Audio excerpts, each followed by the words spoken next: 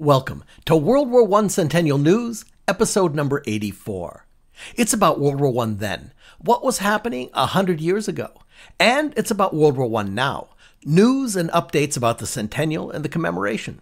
Now we've extended the podcast to include a Twitter handle at the WW1 Podcast. That's at T H E W W, the number one podcast.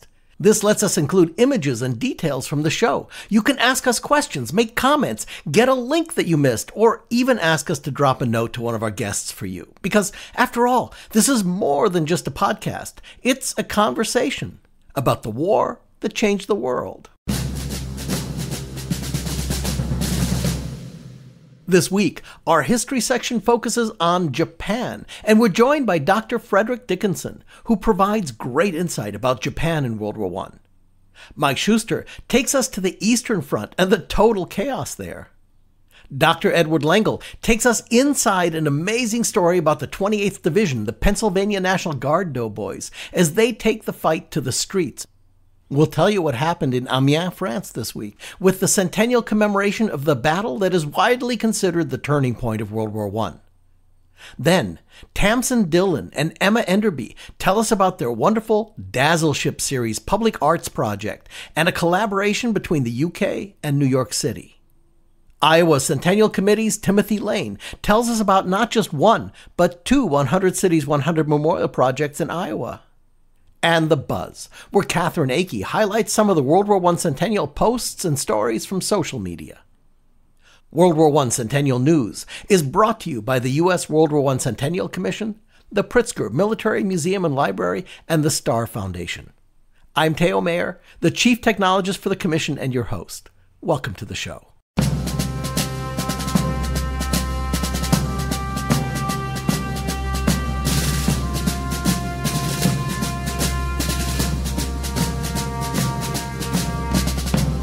Those who've never been exposed to what happened in the Far East during World War I are often surprised by the fact that Japan declared war almost as soon as hostilities broke out in 1914, years before America entered the fray.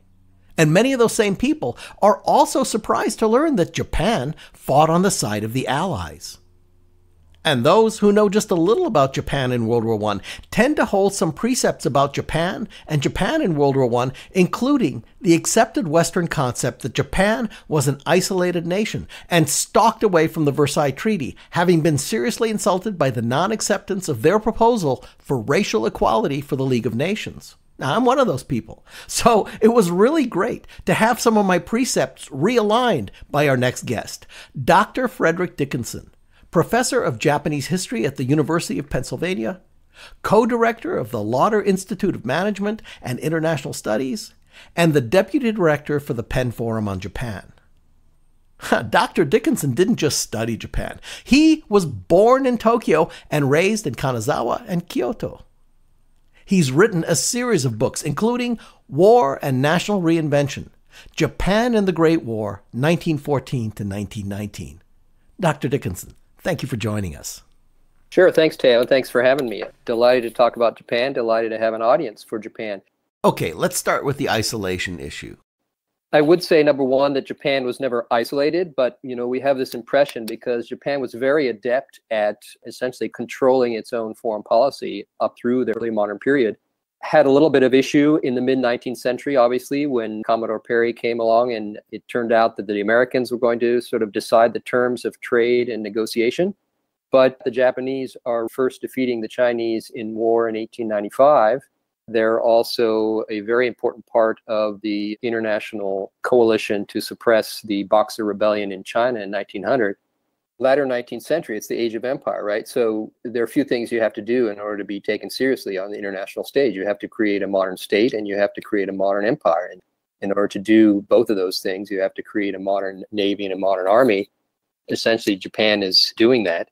And the japanese already by 1885 are looking to korea as the principal target of their potential empire building enterprise. And that very much begins with the sino-japanese war and just continues so Japan is very much on the radar screen. And this is the main reason for the Anglo Japanese alliance of 1902. The British recognize, number one, that Russia is a problem, and they recognize, number two, that the Japanese are the ones to help deal with the Russians. World War I breaks out, and within months, Japan invades the Tsingtao region of China, presumably because it was held by Germans at the time. Is that true? Definitely, but even more important than the within months idea is that the Japanese are declaring war on Germany August 23rd of 1914. This is quite remarkable. I mean, obviously it's after the British, after the French, but it's before the Americans, it's before the Italians, it's before the Ottoman Empire gets involved in this war they're very much out there out at the very beginning of the war. And yes, you have to ask yourself, well, what's going on?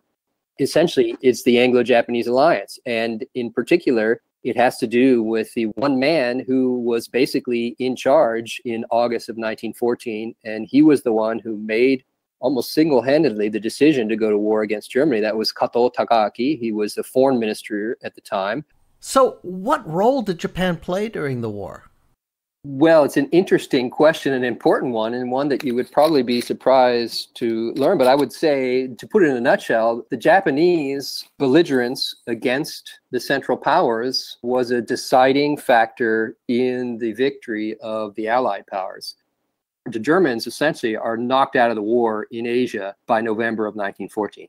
And I would simply say that had the Japanese decided, instead of declaring war on Germany, to declare war on Britain and its allies, we would be living in a very different world right now. And that was not necessarily out of the realm of possibility. No, it's a fascinating role. They also played a fairly large part in keeping the U boat threat down in the Mediterranean. Exactly. So, all kinds of supporting roles that the Japanese are playing uh, throughout the war, in fact. So now the war wraps up and Japan is at the table at Versailles. How'd that go? And what role did classic American racism play in the outcome? So we usually simply hear the issue of the racial non-discrimination clause that the Japanese put up for inclusion in the Covenant of the League of Nations. But you have to remember, I mean, that was a very minor issue for the Japanese. They essentially got everything they wanted except that clause and then some. And what they actually wanted was confirmation of their newfound power in China, number one.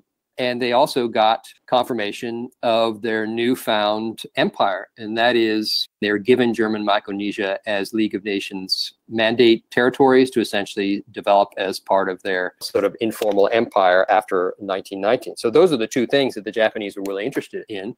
And they got them without a problem Plus, they got recognition of being a world power. They were one of the five victor powers that were present at the table to discuss not simply issues in Asia, but to discuss issues of world peace. Okay, so moving forward again, Japan was allied with the Anglo Franco alliance during World War One. What happened between World War One and World War II that caused Japan to align themselves against the Allies 25 years later? This changes from the Manchurian incident onward, Manchurian incident in September of 1931 you know, after becoming a pivotal player at the Paris Peace Conference, a pivotal player at the Washington Conference, at the Geneva Conference, the naval arms reductions at the London Conference in 1930, very important signatory to the Kellogg-Briand Pact of 1928. You know, after that, clearly something different is going on. And essentially, I would say it's a problem of domestic politics in Japan political parties are sort of a new phenomenon in Japan. Until the First World War, essentially, the oligarchs had been in charge, bureaucratic decision makers had been in charge. So the 1920s is a new era of political party management. And there are some within Japan that do not benefit politically by this arrangement. And they try as hard as they can throughout the 1920s to put Japan on a different path. They finally find a solution, a formula and that is to just start shooting at home and abroad. And so these folks are doing that in early 1930s, and this obviously ultimately changes Japan's trajectory, puts it on a path toward alliance with Germany and Italy rather than with Britain and the United States. Dr. Dickinson, thank you so much for providing our listeners with this great overview of a story that many people I've spoken with are actually surprised at, and really a story that's pretty much untold. Thank you for coming in. My pleasure. Thanks for having me, Theo. Dr. Frederick Dickinson is professor of Japanese history at the University of Pennsylvania. You can learn more about Japan in World War I by following the links in the podcast notes. And don't forget, you can send us or Dr. Dickinson questions via Twitter at the WW1 podcast. Next, we're staying to the east, but not quite as far east, as Mike Shuster, former NPR correspondent and the curator for the Great War Project blog, takes us to Europe's Eastern Front, where the Russian Revolution creates quite a bit of chaos, especially for the Czech troops. No one seems to be quite certain of who is allied with whom. It's kind of a mess. It certainly is confusing. The intro reads Fighting erupts across the east. A weakened Russia is the target. In the west, German soldiers throw down their rifles, the black day of the German army, and this is special to the Great War Project. Although the Bolsheviks had taken Russia out of the war early in 1918, it turns out that was not the end of the war on what had been the Eastern Front, far from it. Serious fighting erupted, stretching from Central Europe east through what would become Yugoslavia, then Ukraine, the Caucasus, Siberia, reaching all the way to Vladivostok on Russia's far eastern shore.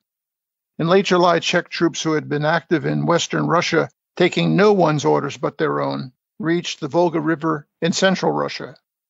Czech troops, reported historian Martin Gilbert, were now holding a 3,000 mile line from the River Volga to the Pacific. By late July, reports Gilbert, the Czechs have seized a string of central Russian towns, including Simbirsk, where Lenin was born, Katerinenburg, where the Romanov Tsar and his family were executed. French and British troops seized Murmansk in Russia's north. The Germans, reports Gilbert, were masters of the Russian shores of the Black Sea and the Caspian. The Bolsheviks were struggling to retain power at the center. Then a thousand French troops landed at Vladivostok. Meanwhile, at the center in Moscow, serious fighting breaks out as well. Lenin survives an assassination attempt. He survives, but two Bolshevik leaders are killed. Stalin takes the lead in a series of ferocious reprisals. At this stage, it has become clear that Czech troops stranded in Russia were now on their own and clearly besting their Bolshevik adversaries. The Allies can't help but notice the predicament of the Czech Legion and for a time considered an attempt to fold the Czechs into their forces. But the French, still allied with the Russians and still committed to that alliance, squelched that proposal. Then, in the Russian Far East, Japan enters the battle on the Allied side. The politics, diplomacy, and military action of the Great War had become very complex. And what of the Germans and their war making capacity in early August a century ago? More important, writes historian Adam Hochschild, than the territory gained in their new offensive was that suddenly the Germans' legendary fighters in this war were surrendering, often throwing down their rifles and raising their hands when confronted by smaller numbers of Allied troops. It was this and not lost ground that began to convince the German High Command that Germany had lost the war. It was on August 8th, the day the Allied offensive began that was the black day of the German army. The war continued, writes Hochschild, but rumors of pessimism at the top began to seep out. Several hundred thousand soldiers well behind the lines either deserted or else ignored orders. There is a rising fear that if army discipline and morale collapse, something even worse than an Allied victory could occur revolution at home. That's some of the news from the Great War Project this day a hundred years ago. Mike Shuster is the curator for the Great War Project blog. The link to his post is in the podcast notes. On to this week's segment of America Emerges Military Stories from World War I. Dr. Edward Lengel takes his history lens and zooms in for a close up as he focuses on the action of the 28th Division, the Pennsylvania National Guard Doughboys, who, after three weeks of intense fighting, find themselves crossing a river and engaging in some seriously intense combat. The curtain opened in August 1918 on one of World War I's hardest fought battles. The 28th Division, Pennsylvania National Guard, had been in the thick of the fighting for three weeks now following up the defeat of the final German offensive along the Marne on July 15th by participating in the so called Aisne Marne campaign. The campaign cleared a German held salient and pushed the enemy back to the Vesle River. Now, however, the Pennsylvania doughboys had to cross the river at the shell shattered village of Fismes. 19 year old Corporal Harold Pierce approached Fismes with his comrades of the 112th Regiment on the evening of August 7th. A white cloud of gas and smoke hovers over the town, but otherwise it looks peaceful enough, he thought. The closer he got, though, the worse it appeared. Supposedly, the just departing Red Arrow 32nd Division from Michigan and Wisconsin had captured the town. As the doughboys passed an old mill and railroad, though, they saw a red glow from fires burning in the town.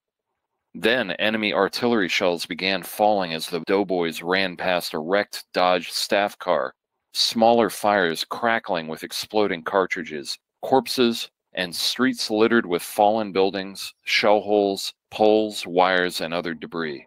German snipers were everywhere. American detachments worked through the town to clear out the enemy snipers, who had penetrated Fismes from the smaller village of Fismette across the river to the north. Meanwhile, other doughboys with automatic rifles used a half wrecked footbridge to enter Fismette.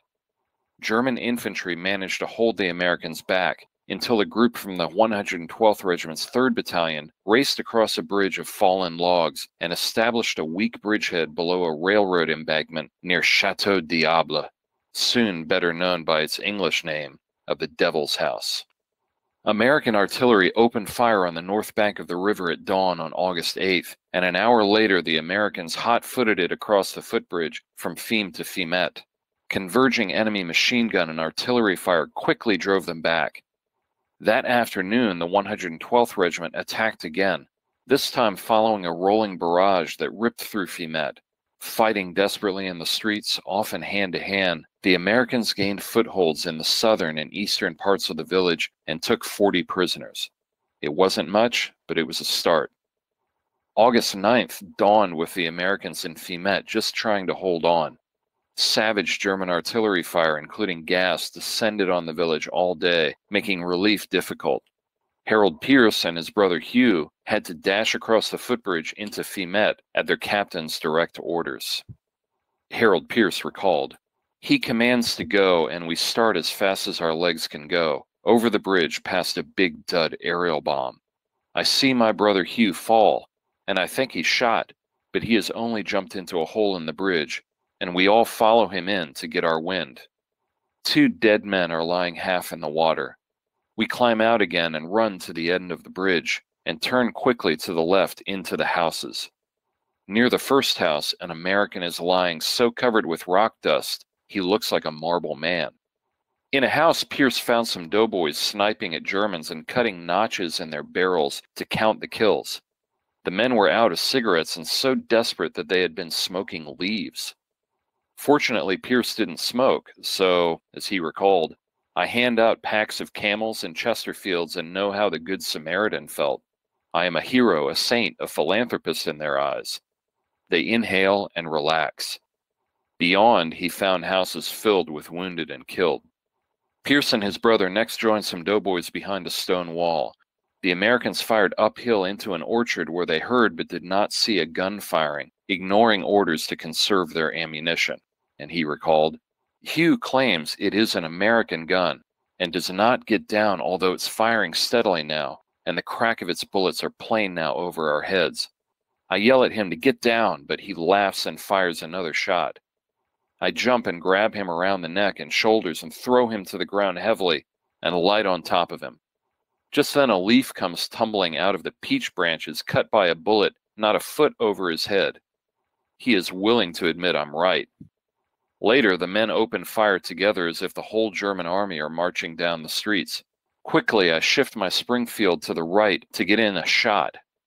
As I shoot, a man from F Company next to me drops to the ground as if dead. I had the muzzle about six inches from his ear. He's out for a few seconds, then rolls onto his back, stares to the sky, and asks me where he's hit.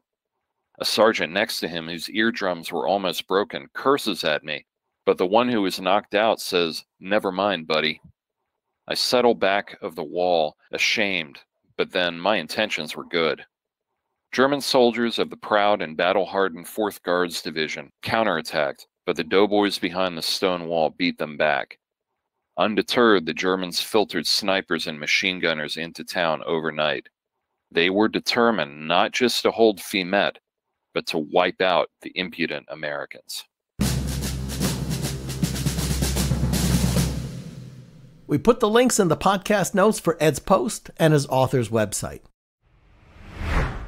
This week, our YouTuber friends at the Great War Channel posted a three month recap of May, June, and July 1918. Host Indy Neidell walks the viewers through a great summary of the action on all fronts. I'm Indy Neidell. Welcome to a Great War recap special covering the months May, June, and July 1918. May began on the Western Front with the end of the Battle of La Lys, which had good tactical success for the Germans but was an operational failure since it did not take its main objectives.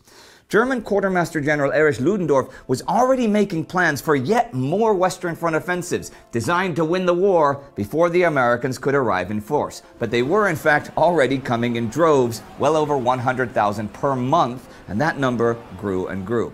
However, on May 1st, at an Allied command meeting, American Commander John Pershing made clear that he was not going to send them into the lines with the French and British yet. Well, not all of them. He was waiting to build a whole American army first.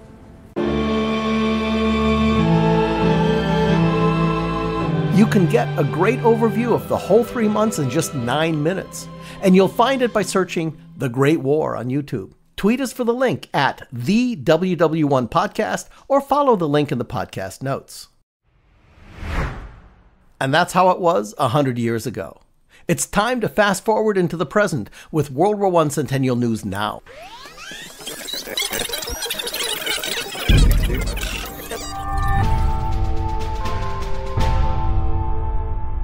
This part of the podcast focuses on now and how the centennial of World War I is being commemorated this week. In commission and international news, all the action was in France, with the centennial commemoration of the Battle of Amiens on August 8th, which most consider the turning point and the beginning of the end of World War I. The Allied nations all came to France to remember this poignant moment. A number of commissioners and some of our staff were on hand. Commissioner Seefried gave great interviews, including to the BBC, while Helen Patton, granddaughter of the general, did a wonderful job for the U.S. Commission, interviewing with Centenary News, Reuters, Agence France Presse, BBC, France 3, and more.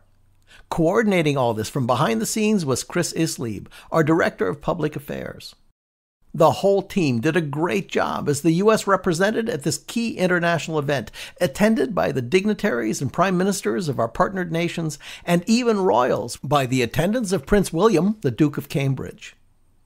To bring the whole story home to our constituents, we rolled out some new technology in our website that allowed us to pull in social media posts from all platforms and from anyone, creating an intriguing and wonderfully educational pastiche of images and sounds and voices, all available for exploration on our website at ww1cc.org/international. Here's some of what you'll find. Lord, how he laughed in Amiens till through the talk there flashed the name of some great man we left behind. And then a sudden silence came, and even Petit Jean who runs stood still to hear with eyes of flame the distant mutter of the guns. So in the spring of 1918, the Germans launch that vast force against Allied lines. They come close to breaking through the Allied lines, defeating the French, the Americans, and the British but they don't. Aerial, mechanical, and human courage and ingenuity combined with devastating results. Amiens was symbolic of the Entente Cordiale, the cooperation without which victory was impossible. It is entirely fitting, therefore, that today that same international coalition has returned to Amiens with our former enemy in peace and partnership. We'd like to invite you to explore this really interesting resource at ww1cc.org slash international, all lowercase. Follow the link in the podcast notes or send us a link request on Twitter at the WW1 Podcast. This week's World War I War Tech looks at a really distinctive World War I form of camouflage. One that doesn't seek to hide the target, but to confuse the mind. It's very visible, visually stunning, and it's known as Dazzle. During the First World War, U boats were the scourge of the seas, sinking nearly 5,000 ships during the course of the war. Now, on the high seas, the human eye, assisted by optical lenses, were the primary tool used by U boat commanders to judge the speed, size, and position of their target vessels. Like aiming a rifle at a moving target, the human eye was the essential technology for aiming and firing torpedoes. Sonar and radar were emerging technologies, so for all intents and purposes, the submarines targeted ships by eye. Hiding below the surface of the water, U boats could sneak into torpedo firing range without the target ships knowing or taking evasive actions. The term sitting duck comes to mind. So the question is how could the Royal Navy better protect itself and crucial Allied shipping lines from the U boat scourge? Well, ships started to use something called hydrophones, a sort of immersed microphone that would let talented operators listen to the ocean and try to figure out whether U boats were coming or not. But the most unusual and dramatic and even surprising countermeasure was naval camouflage. Now, for our longtime listeners, as we noted in our February 2018 episode number 60 in our Speaking World War I segment, the term camouflage comes from the French camoufleur, which means to hide oneself. So when you think of camouflage, what comes to mind is keeping something hidden, making something hard or impossible to detect. But in this case, hiding wasn't the goal at all. In fact, dazzle camouflage, as it came to be known, arguably makes boats more visible, not less. Dazzle painting a ship was meant to confuse the eye about the ship's movement, size, direction, and speed. The idea was to throw off the U boat commander's targeting with wild stripe patterns and shapes so that when he fired his torpedoes, he'd miss. That was the Admiralty's thinking when it decided to paint hundreds of naval and merchant boats in this style in May of 1917. But it all started in 1914 when a professor of zoology from the University of Glasgow named John Graham Kerr brought his nature inspired camouflage idea to the Admiralty. Now, his ideas were meant to hide the ships. And they painted some ships, but concluded that hiding camouflage for ships didn't really work. So here comes the twist. An experienced Royal Navy painter, and certainly not a scientist, named Norman Wilkinson, floated the idea that painting ships not to hide but to distort the form of a vessel would make it harder for attacking submarines to target them accurately. Now, he claimed that the previous ship camo schemes failed because they tried to render the ships invisible. John Kerr, our Glasgow professor, took great exception to this, but the Admiralty took Wilkinson's idea and implemented it. In truth, the effectiveness of dazzle painting was never definitively proven one way or the other. Some primary sources and post war evaluations give it high marks for effectiveness, while others downplay it.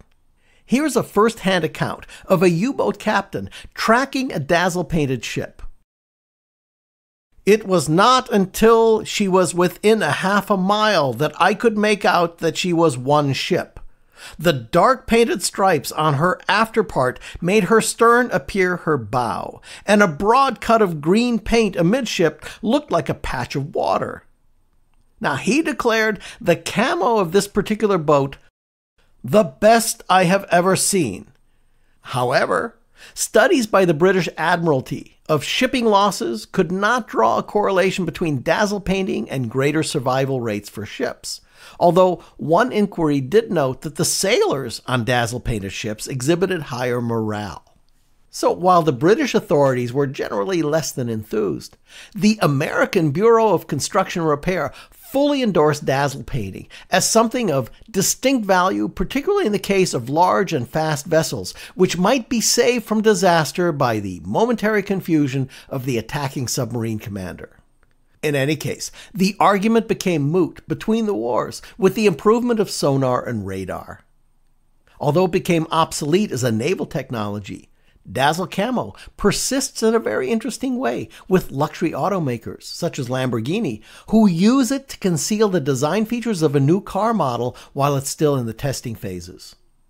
Dazzle Camouflage, awesome looking paint jobs for ships, and an awesome subject for World War I war tech. Of course, This is such a visual story that we'll be posting a lot of really great images on our Twitter channel this week at the WW1 Podcast.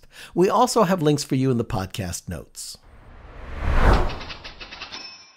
During our podcast, episode number 71 in May of 2018, we spoke with Jenny Waldman, the director of 1418 Now. Now, this is a British five year program of arts experiences connecting people with World War I. So, in keeping with our previous story, today we're taking a deeper look at one of their programs, the Dazzle Ship series. Now, for this, five contemporary artists were commissioned to transform real life ships in the UK and even one in the USA, paying homage to the World War I practice and creating conversations about the hundreds of ships that were dazzled during the First World War to fool submarine attacks. It's a wonderful project that takes dazzling off of the obscure pages of old photos and brings dazzled ships out into the public, opening thousands of conversations about what the hey? What is that? Joining us are Tamsin Dillon, curator at 1418 Now, and Emma Enderby, adjunct curator at the Public Art Fund in New York City. Now, both of you, welcome to the podcast. Hello. Hi, thank you so much for having us. A pleasure to have you here. Uh, Tamsin, let me start with you. Dazzle ships are an iconic but generally obscure piece of World War I history. How did the idea come up to do a Dazzle project as part of your 1418 Now programming? Well, Theo, as you say, it's been a fantastic series of projects with the, the Dazzle ships. And all of the projects in 1418 Now work with partners. And in the case of the Dazzle ships, the key partner has actually been the Liverpool Biennial up in Liverpool. And they came up with the idea of thinking about how dazzle camouflage was so important during the First World War and the fact that it was actually invented by an artist, Norman Wilkinson. And of course, we leapt on it as a fantastic idea. And there, the long investigation began to find a ship, to find an artist for the first project. So, how many ships did you end up dazzling, and where are they? Well, ultimately, the Dazzle ship in New York that we've worked on with the Public Art Fund is the fifth ship in the series. And all the other four, that we've actually dazzled two in Liverpool, and you can still see those ships, which is fantastic. I think they'll continue to be there for a while. And then there was one in London and another in Edinburgh. Emma, could you give us a brief introduction to the New York City Public Art Fund? Of course. So, the Public Art Fund is an arts organization based in New York. We celebrated our 40th anniversary last year. We were founded in 1978 and since then have been bringing free art to the public, working with contemporary artists ranging from painters, sculptors, those that work with moving image, all sorts of different mediums to make those works and bring them to a New York audience for free. Now, were any of the artists trying to fool the eye the way the dazzlers of World War I were, or were they just using the ships as a sort of giant, wonderful canvas? I think the selection of the artists was a really important part of this process. To work with artists who, in their practice, are thinking about what the eye is doing. It wasn't necessarily about replicating the process of dazzling, but actually having a more contemporary response to the idea of what that might mean. And therefore, kind of raising awareness of how it happened 100 years ago and how artists work now. And I think in each case, it was an opportunity that really pushed the practice of each artist and tested their limits and their comfort zones for sure. Interestingly, Tauba Auerbach, who dazzled the ship in New York, the John J. Harvey, which is decommissioned fireboat, she did incorporate some of the methods or some of the techniques that they used in the traditional dazzle patterns. So the dazzle ship mm. in New York does have a fake bow and a fake stern, which does work. We looked at it from a certain angle and it, and it does look offset, as well as kind of trying to create a sense of you're not sure where the front of the boat is or where the back of the boat is, this kind of idea of directional confusion. The, the result is beyond the dreams that I had for the ship. It's fantastic. I was talking to Katherine about this earlier, and all I'd ever seen were black and white photos of Dazzle ships. So I, I suppose I assumed that Dazzle painting was black and white, but she explained to me no, many of the ships were painted with colors even during World War One. Yes, absolutely. Yes, and that is a very interesting point. The colours that Tauba selected are the colours of the fireboat. It's red and white. And she kind of chose that for several reasons. One, to pay kind of homage to the fireboat and its colours, but also to play off the idea of Dazzle itself, right? It's this sort of hiding in plain sight. So, how does somebody go around and approach somebody who owns a ship and explain, hey, you know what? We'd really like to paint your ship in a really crazy way? it's definitely a process. so, um, we talked to so many different vessel owners and types of, of boats. And for us, it felt like it had to be like the really right collaboration. When we came across the John J. Harvey, which is the boat that we dazzled, which was built in 1931, decommissioned in the 90s, itself is like this icon of New York. You know, it was a hero of 9 11. So it also had this like incredible story. It's a non for profit, it's a museum in of itself. And the fact that we could collaborate with them was really great for us and also for them because we actually helped to restore their boat. Every layer of paint, as Tamsin will tell you, that goes onto a boat is actually restoration. They loved the idea. they they have their own historian who knew about the history of Dazzle and it struck a chord with them. And the idea that we could do this and then bring this project to the public felt very in line with their mission. They had been giving free tours to the public for 18 years. There's a great synergy there. There is a unique story behind every one of the boats, and as she said, in most cases it's as much a process of restoration as anything else. It's a question of finding something that's the right size, that's feasible, and is actually in need of a lick of paint and to kind of enthuse a group of people that would never think about working with an art program for any other reason. There are so many challenges involved in each of these projects. But all of these projects come to fruition at the end of quite a long period of research and development. And it was interesting to be in touch with Emma as she and Jesse were racing around the New York waterways trying to find the right boat and the right boat owner to collaborate with. So, what's going to happen to these ships after they've been exhibited. And Tamsin, you sort of already answered that some of them may just stay the way they are. And Emma, the New York fireboat is going to get reverted? The plan at the moment is to de-dazzle. I imagine they'll maybe keep small elements maybe of it painted, but it is this historic vessel, and I think, you know, always the plan was to sort of take it back. De-dazzle? De-dazzle, yeah. well, it's a dazzling project. Thank you both so much for coming in and talking about it. That's been a pleasure. Thank you very much. Tamsin Dillon is the curator at 1418 Now, and Emma Enderby is the adjunct curator at the Public Art Fund in New York City. Learn more about the 1418 Now Dazzle Ship series by following the link in the podcast notes. Moving on to our 100 Cities, 100 Memorials segment about the $200,000 matching grant challenge to rescue and focus on local World War I memorials. This week, we're joined by Iowa World War I Centennial Committee co chair Timothy Lane to talk about not one, but two 100 Cities 100 Memorials projects, and both with a specific and interesting angle. Both projects were directed by a state centennial organization. One was awarded in the first round and the other in the second round. And Tim, your name comes up both times. Welcome to the podcast. My pleasure to be here, Theo. Tim, since you are the co chair of the Iowa World War I Centennial Committee, uh, let's start wide with Iowa and World War I. There's a real story and some real well known persons involved. Could you give our listeners an overview? I would love to. Let's start with Herbert Hoover, born in West Branch, Iowa.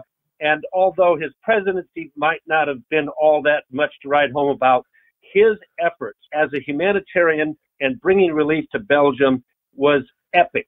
And on August 3rd of 1914, he was a geologist. He was a miner. He was not a humanitarian, but boy, could he get things done and get things delivered. So we can start with Herbert Hoover and we can move on to one of the first Americans to die in the war, the first woman to die in the war, Marion Crandall and the last American to die in the war, Wayne Miner from Centerville, Iowa. At every stage of the war, we like to think Iowa was in 100%. Now, we've got a lot to cover with two memorials.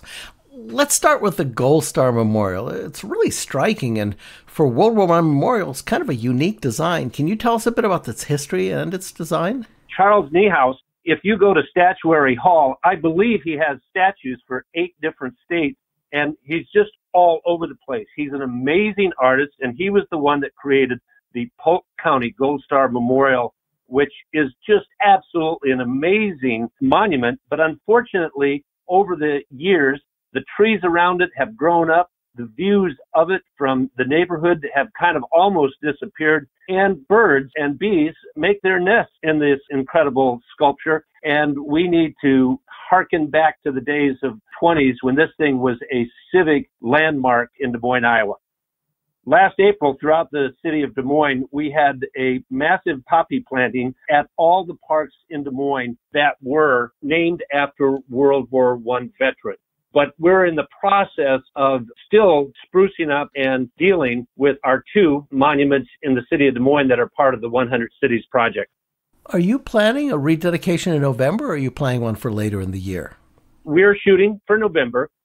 We would like to maybe organize things where the entire month of November is followed with day one, with day two dedication and day three dedication, and et cetera, et cetera, so that yeah. we create the greatest amount of awareness possible. Okay, Tim, your second project really fascinates me because it focuses on a largely, let's say, often neglected group who contributed so much 100 years ago women. Let me lead up to that, Theo, with kind of a story from exactly 100 years ago this week. There was a group of women at our Fort Des Moines, not Camp Dodge, that were heading off to war, and the men were lined up to wave the medical corps adieu. Now, we lost 11 women in Europe during World War I, including Marion Crandall, who was an interpreter, and 10 nurses. In the 1920s, the state of Iowa planted some white birch trees for the women in white. And over time, those trees died. Some were struck by lightning. And that particular memorial faded over time. And it's unfortunately the case.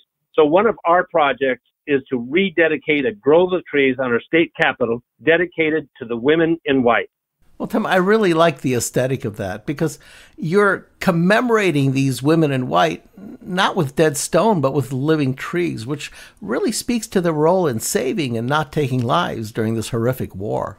What stage is the project at now? That stage is moving along nicely. We've got our contractor, we've picked the site, we've selected the trees, a hardier breed of trees than the white birch that we initially went with. We're going to go with white oak to again carry on the theme. And we also want to make sure that we include all the nurses that died in Iowa during the Spanish flu epidemic, as well as those that died abroad. As a part of that, I understand you're also putting up a, a plaque listing the names of the women we want to make sure that this grove of trees has a higher level of visibility and recognition than the initial grove, which just was basically trees and no marker to designate just what those trees stood for. Now, Tim, is there anything else you want to tell us about your memorial or your centennial plans for Iowa? They have a current exhibit called The War Train That Shaped a Nation. It is about the Czechoslovakia troops that were kind of muddled in original alliance to one side and then the other. It's a great exhibit that kind of plays into your earlier comments and discussion. Well, Tim, you and your colleagues are doing a great job in Iowa. Thank you for coming in. Timothy Lane is the co chair of the Iowa World War I Centennial Committee. Learn more about the 100 Cities, 100 Memorials program by following the link in the podcast notes. All right, now for our weekly feature, Speaking World War I, where we explore the words and phrases that are rooted in the war. And this week, it's the third light. Did you ever run across the superstition that you should never light three cigarettes on a single match? Well, okay, so in today's more smoke free world, that may be getting a bit obscure, but I absolutely remember my war veteran dad making a big deal out of this. Some superstitions do have a basis in fact, like walking under a ladder being unlucky. I mean, the odds of something getting dropped on you are a heck of a lot higher when you're under a ladder, right? Well, the misfortune of the third light is a lot like that, and it comes from World War I, from the trenches. Because at night, in the time it takes to light two cigarettes, a sniper can see the light, aim his rifle, and by the third cigarette can squeeze off a shot, which makes for a very bad day for the third cigarette holder. It's called the third light, and it's this week's word for speaking World War I. Learn more about this by the link in the podcast notes. This week, in articles and posts, where we highlight the stories you'll find in our weekly newsletter, The Dispatch. Headline Bells of Peace gaining new participants nationwide for 11 11 18 national bell tolling. We're just getting started, but already more than 85 community participants and two state governor proclamations have signed up for the U.S. World War I Centennial Commission's initiative, Bells of Peace, a national bell tolling on 11 11 at 11 a.m. local. Read more about how you, your organization, church, school, civic group, veterans group, city, or state can participate in this growing national commemoration event. Headline Women in the Marines. PFC Edith Macias was one of two sisters who served as Marines in World War I. Her story and that of all her groundbreaking fellow women Marines are the subject of a special exhibit showcasing 100 years of service by women Marines, 1918 to 2018 presented by the Women in Military Service for American Memorial Foundation. Learn more about how you can attend the opening to this special event. Headline U.S. Mint reopens sales of World War I service medals and Centennial Silver Dollar coin sets. Collectors can once again order the 5 2018 World War I Centennial Silver Dollar and Service Medal sets. Limited to a production run of 100,000, the sets launched on January 17th and originally had an ordering deadline date of February 20th. Find out more about this new and probably last opportunity to buy these distinctive and historic Centennial collectibles from the U.S. Mint. Headline Purple Heart Medal has direct connection to American World War I military experience. World War I Centennial Commission intern Aaron Rosenthal takes a look at the story of the modern Purple Heart Medal and its World War I roots. Headline This week's featured story of service is Charles Benjamin Meade. Read the story of Charles Benjamin Reed, submitted to Stories of Service by his granddaughter in law. Charles Meade was born in Nebraska, enlisting at 22 years of age, listing his occupation as a carpenter. He served in the U.S. Army and you can read a transcription of his handwritten journal by heading to Stories of Service on the Commission website. Finally, our selection from our official World War I Centennial merchandise shop. Our featured item this week is our white ceramic World War I Centennial mug. It features the iconic doughboy silhouette flanked by barbed wire, and you can enjoy your favorite beverage in this 15 ounce ceramic mug while you remember and honor the sacrifices made by our boys. Links to our merchandise shop and all the articles we've highlighted here are in our weekly dispatch newsletter. Subscribe at ww1cc.org/slash-subscribe. You can also send a link request with a tweet to at the WW1 podcast or follow the link in the podcast notes. And that brings us to the buzz. The centennial of World War I this week in social media with Katherine Akey. Katherine, what are this week's picks? Hi, Theo. This week it's all about Amiens, as this week marks the centennial of the Battle of Amiens, the German Black Day in a major Allied offensive. There are commemorations and events all over the world remembering the clash, and you can find photos, articles, and stories about the battle and the commemorations by looking up the hashtag hash Amiens100 on Facebook, Twitter, and Instagram. You should also add your own content to the tag. Just include hash AMIENS 100, Amiens 100, on your post to be part of the social media story. You can also visit our International Experience Commemoration page at ww1cc.org slash international, where these posts are pulled together into one place. And to finish us out for the week, if you want a detailed but easy read on the Battle of Amiens, follow the link in the podcast notes to read the article 100 Years Ago Battle of Amiens and Start of 100 Days at Centenary News. The piece includes some photographs of modern day Amiens, including the cemeteries there, and is a great introduction to the battle and its importance. There's also in the links for you a wonderful page set up by the Imperial War Museum in the UK with an outline of the battle and videos, images, and more. That's it this week for The Buzz. And that wraps up episode number 84 of World War I Centennial News. Thank you for listening. We also want to thank our guests Dr. Frederick Dickinson, Professor of Japanese History at the University of Pennsylvania, Mike Shuster, Curator for the Great War Project blog, Dr. Edward Lengel, Military Historian and author, Tamsin Dillon, Curator for 1418 Now, and Emma Enderby, Adjunct Curator at the Public Art Fund in New York City.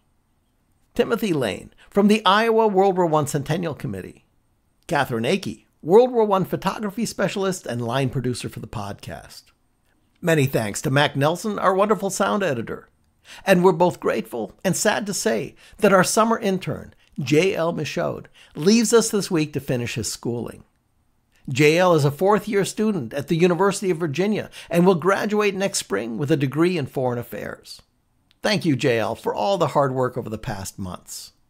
And I'm Theo Mayer, your host.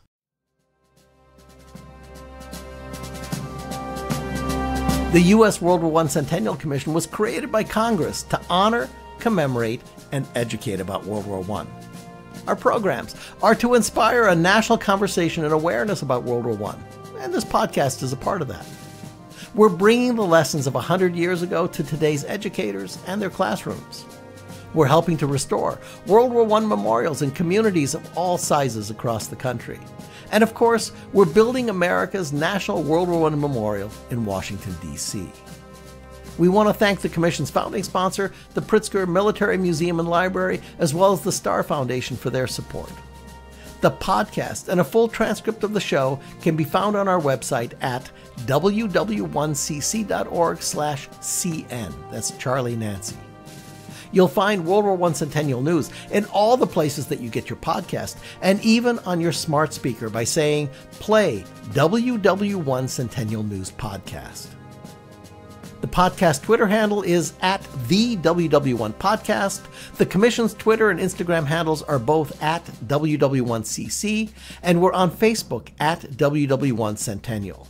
Thank you for joining us, and don't forget to share the stories that you're hearing here today about the war that changed the world.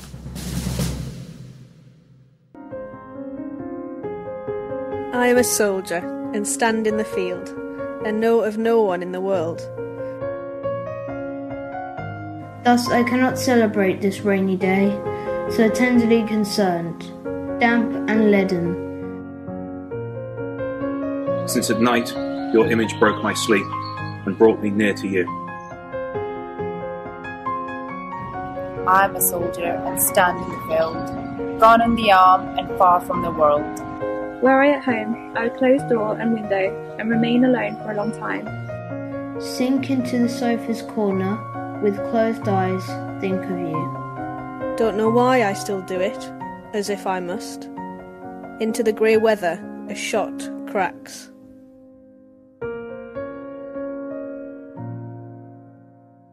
August 8th, 2018, the centennial of the Battle of Amiens, the beginning of the end of World War I. So long.